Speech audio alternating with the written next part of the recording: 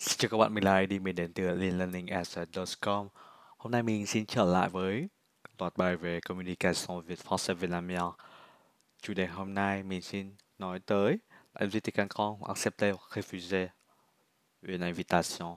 Và mình muốn nhắc về làm cách nào để mời một người từ chối hoặc là chấp nhận lời mời. Thì comment inviter quelqu'un thì các bạn có thể sử dụng các cấu trúc câu như sau Je vous invite à dîner à la maison. Mình mời bạn tới ăn tối tại nhà. Je vous invite au restaurant. Mình mời mời bạn tới nhà hàng. Bien, donc dîner à la maison. Nào đi ăn tối. Ở nhà đi. Voulez venir dîner chez nous? Bạn có muốn tới ăn tối nhà chúng tôi? Voulez aller dîner au restaurant? Je vous invite. Bạn có muốn đi ăn là nhà hàng hay không? Mình mời bạn. Vous để déjeunerez avec nous. Bạn sẽ đi ăn trưa cùng chúng tôi chứ? Tu veux venir à la marque noire? Uh, je t'invite. Bạn có muốn tới cái sân trượt băng? Tôi mời bạn. Mình mời bạn.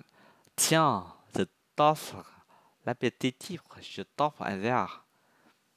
Đi nào, mình muốn mời bạn một cốc một cốc bia. Viens vào ma nouvelle maison. Tới xem cái nhà mới của mình đi.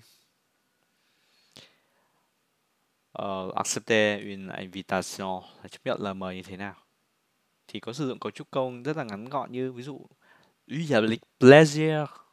Mình rất sẵn lòng. Oui alors c'est sympa c'est une bonne idée? D'accord. Oui je veux bien.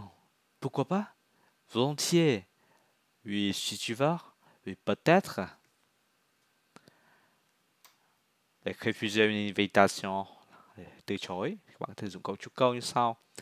C'est très gentil mais je ne suis pas libre.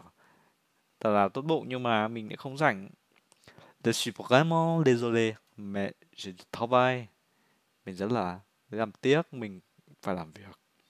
Je regrette, mais je ne veux pas.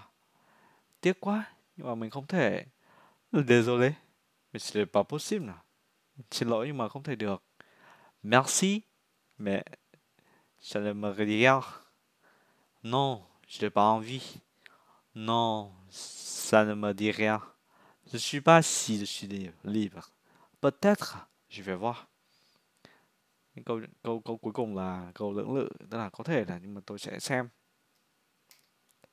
Merci de votre attention.